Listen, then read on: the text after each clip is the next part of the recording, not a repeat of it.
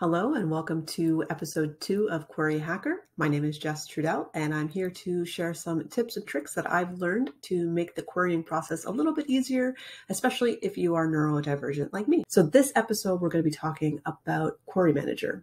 And Query Manager is a software that a lot of agents use in order to accept queries and to manage those queries uh, with a little bit more ease uh, than they would if they were trying to organize it manually via email.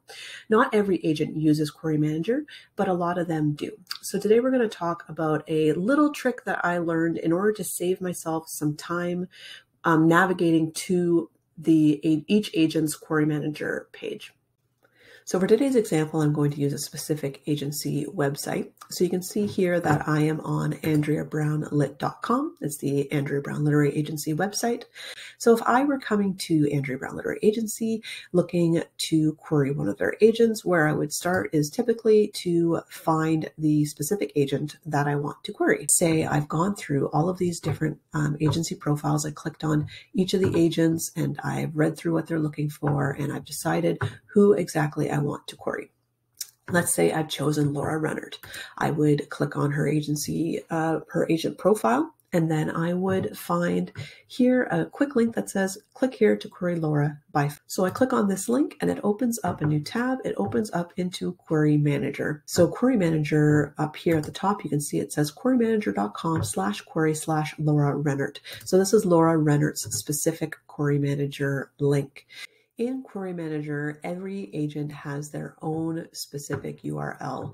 So when you look at the top and you see this querymanager.com slash query slash first and last name, that's the same format for pretty much any agent that uses Query Manager. There are a couple very rare exceptions. Let's say that um, I, I don't want to query Laura Renner. For whatever reason, I changed my mind, or maybe I realized I went to the wrong profile to begin with. What I meant to do was go to Jennifer Laughran's Query Manager page. Well, I could go over here and I could go back um, and find Jennifer Laughran's profile, um, but it might be hard to find. I might not know where to go, and I maybe I don't want to start from scratch. I don't really need to click through all of these options again.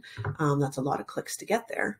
What I can do instead, since I'm already here in Query Manager and I already have the first part of the string that I need, I can just type in Jennifer Laughran's name. Since I've been there before, auto-populated for me. So I have here querymanager.com slash query slash Jennifer Laughran. And here is Jennifer Laughran's profile. So how is this information useful?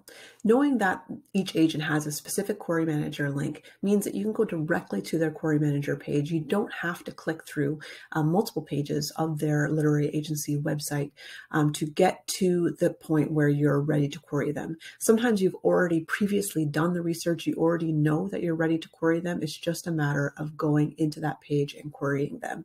So when you go directly to their query manager page, you save yourself time and effort finding that query manager link. Sometimes you have specific agents that you know that you're going to look up over and over again, that you know you're waiting to open to queries. You don't have to uh, search through their website to try and figure out whether or not they're open or closed to queries. Query Manager has it right there. You could uh, create bookmarks for all of your favorite agents. You could have a dream agent uh, list on your bookmarks bar and just visit those agents' Query Manager pages as often as feels appropriate for you um, without stressing yourself out too much. One of the beautiful things about Query Manager is that right there at the top, you can see whether or not the agent is open or closed to queries. And if it were up to me, every agent that uses Query Manager would take full advantage of the description section at the top of Query Manager to put in their specific wish list, their MSWL, what they're open to, what they're not accepting, so that those of us who have difficulty in navigating agency websites could just go to Query Manager and we'd had all the information that we need in order to decide if we should query that agent. In the next episode of Query Hacker, I'm going to take this the next step and I'm going to show you how you can auto generate the Query Manager links into a spreadsheet so that you can track the agents that you're querying automatically um, with those URLs clickable um, right from your spreadsheet. But for now, thank you very much for joining me for another episode of Query Hacker, and I look forward to seeing you soon.